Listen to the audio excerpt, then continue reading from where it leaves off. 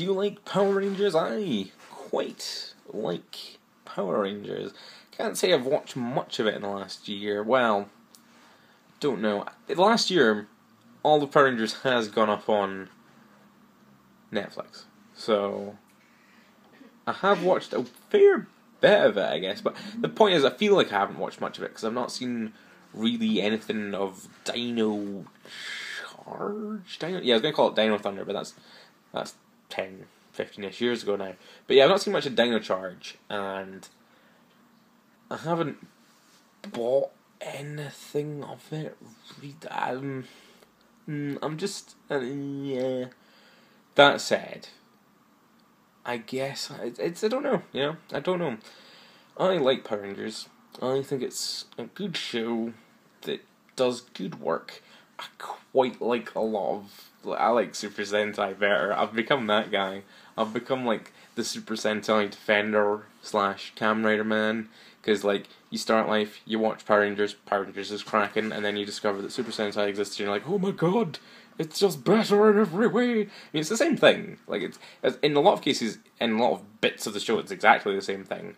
But then again, it's not. It's not the same thing at all because Power Rangers is quite bad, and Super Sentai is quite bad. But they're bad in quite different ways. Because a lot of the time you watch Power Rangers and you're like, this is kind of just mm, the acting's really gonna go and like nothing really makes sense and it was better back in the day and you watch Super Sentai and you're like this is this is t- ridiculous and ludicrous and I bet if I understood the Japanese language I'd un- I'd understand the fact that the acting's bad.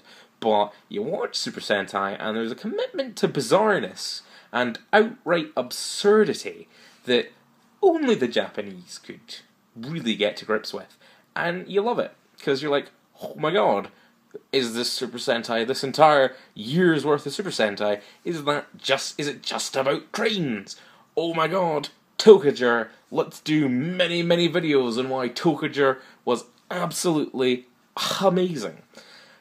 Kyogre, I'm gonna call it Kyogre, you're gonna have to learn this. YouTube people, you're gonna have to learn that I call it Kyogre. I'll have ways in which I speak just to irritate people, and just to irritate a small group of people, I refer to the dinosaur one from a couple years ago as Kyogre.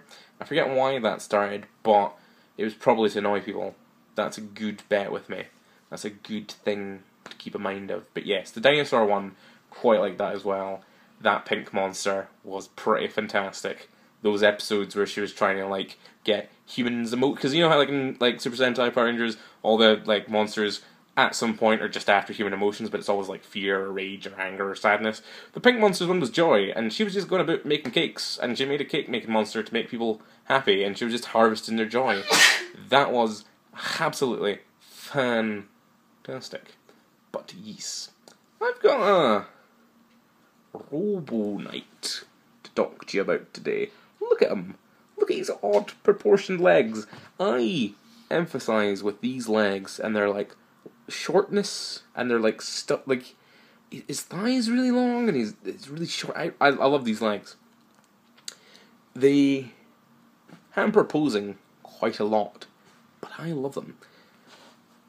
I don't really remember much about Robo Knight. He was in Megaforce. Megaforce was quite bad, but in a way I can get behind, and I kind of not trying or just going to lazily adapt the Sentai as much as that doesn't really make sense because we're also trying to make it like a 20th anniversary Power Rangers thing, so we have to shoehorn in all these like 90s teen kind of elements, but in the modern day. It was a compromise thing, and they clearly weren't trying. I like his design though. Yeah, positives. I like the black, I like the silver. The thing on the back that's always bugged me about every toy I've ever had of Robo Knight, every toy I've ever had of Robo Knight being two toys, this guy and another guy, he's got this like flat back. I assume it's because he becomes his Zord, and I guess there's probably like a Sentai toy that's exactly it's it's it's kind of I don't know. It's like a marrying of design between what's in the show and what the toy is perfectly because I bet this design works perfectly with the toy, but I don't know. It's like a step too far for me because like why is his back like that other than to combine with a toy like you know, it takes you out of it, doesn't it? You know, there's that line where like Sentai and Power Rangers can be as bizarre as it wants to be, but then you see a thing and you're like, oh, that's that's just for the toy, isn't it? And I guess I shouldn't be angry at that. I guess I should love that. But specifically on Robo Knight, I find it really weird because like, why is his why does his back just abruptly end like that when it looks like it's gone into a backpack? Like, is it missing a backpack? And why is this toy so detailed that it has that? His his arms are also a problem because they only go out this far. Everything again, like the Medabot guy from a couple days ago, a couple days ago, not a couple minutes ago, but a couple of days ago. Everything I could say about him is quite negative, but at the same time, I really love him. Like, I think he is a good wee toy. Maybe that's coloured by the fact I got him for 20p. Maybe that is affecting my brain noggin. I like him. I like Robo Knight. I've not seen the Megaforce Sentai. I do not know what none is. that Geki Ranger? No. Oh no, no, that's not Geki Ranger. Geki Ranger's the the Wild Force one. Oh, it's like a G though, isn't it? Oh, Gosei. Goseiger. Yeah. I've not seen that one. I will be butchering Japanese. I will be almost nearly offensively butchering Japanese. That is a thing. If you if you can't deal with that, then pff, not the channel for you. Not. I mean, it's my fault, but it's mainly because I'm Scotch. And if you're blaming the Scotch, that's no place to be, is it? Robo Knight. His head turns. Do, do you want to know about the posability? It's not good. Like he, he does that. I again look his his, his wee fingers are like painted in. Like it, I I like these toys. I like. I think. I don't know. I think at the time when Megaforce came out and the toys were this size, they're, they're quite small. They're like a size smaller than what the current uh, Power Rangers toys are like. I think at the time I was again that I was like, oh, I don't like this. I don't like this in smalling in smalling of toys because they were charging the same amount for it, which is the key thing, I suppose. If you're going to charge a tenner, I suppose it should be bigger than this. But having picked up a few of these guys, we might be looking at another one of them in another video coming up. Just to be looking out for that, just to be touching my nose in a secretive manner.